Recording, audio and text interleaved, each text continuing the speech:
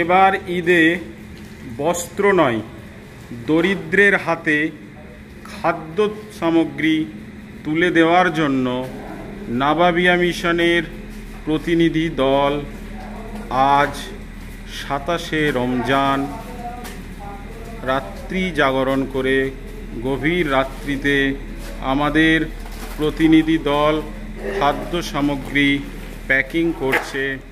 আগামীকাল আঠাশে রমজান দুপুর দুটো হইতে মিশনের মেন গেট থেকে সর্ব ধর্মের মানুষের জন্য খাদ্য সামগ্রী তুলে দেওয়া হবে ইনশাআল্লাহ। এ খাদ্য সামগ্রীটি শুধুমাত্র নাবাবিয়া মিশন সংলগ্ন এলাকার মানুষের জন্য। এই মুহূর্তে সকলে স্রষ্টার কাছে প্রার্থনা করুন মানব জাতির কল্যাণের জন্য।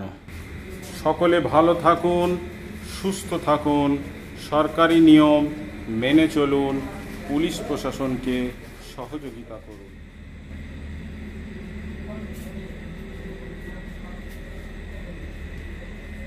দেশবাসীকে নাবাবিয়া মিশনের পক্ষ থেকে জানাই অগ্রিম ঈদ উল ফিতরের শুভেচ্ছা ও ভালোবাসা।